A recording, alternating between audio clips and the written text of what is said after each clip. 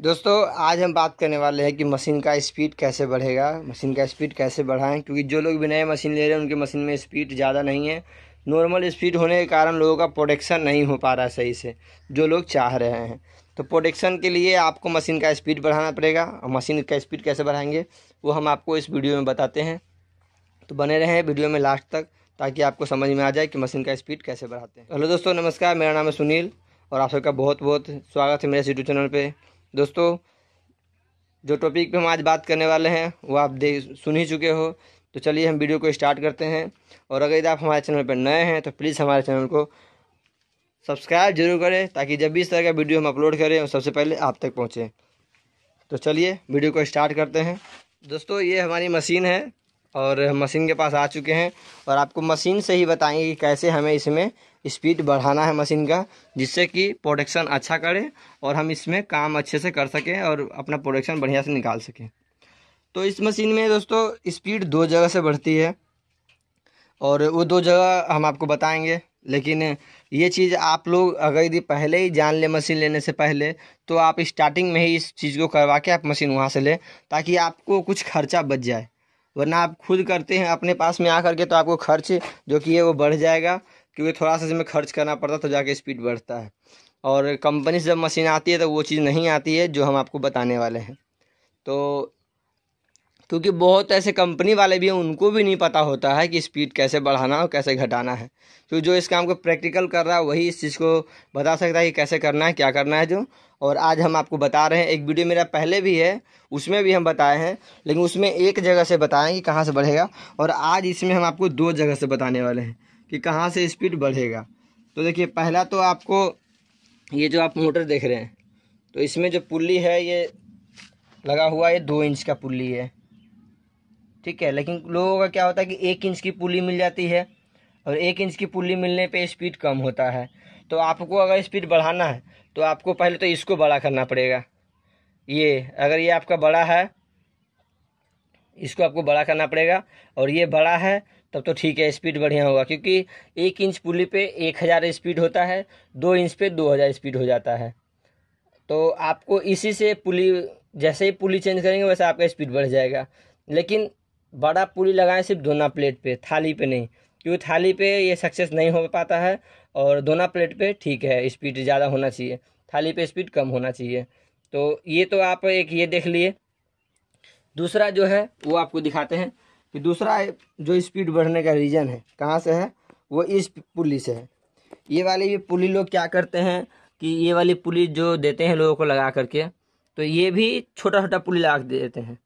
लेकिन छोटा नहीं, इसको भी अगर आप पहले जान जाएँ इस बात को तो आप जब मशीन बनवाते हैं तो आप उनसे बोल के मशीन को बनवा सकते हैं कि ये कम से कम तीन इंच की पुल्ली होना चाहिए। अगर ये तीन इंच की पुल्ली है तो भी स्पीड आपका बढ़ेगा। और अगर ये एक, दो इंच की पुली होती है वैसे इसमें तो दो इंच की पुली में स्पीड नहीं बढ़ता है। दो इंच की पुली में स्पीड हमेशा कम रहता है।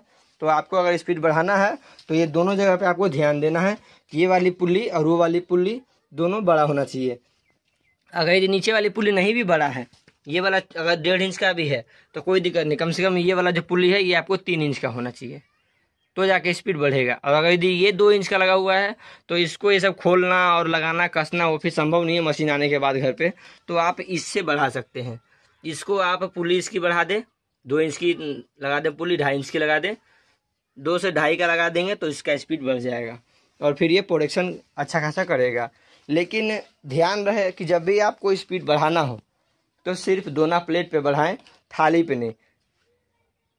क्योंकि थाली पे क्या होता है कि थाली जब स्पीड बढ़ेगा तो वो सही से वर्क नहीं करेगा मतलब कि जो आपको थाली चाहिए क्वालिटी वो क्वालिटी नहीं देगा वो।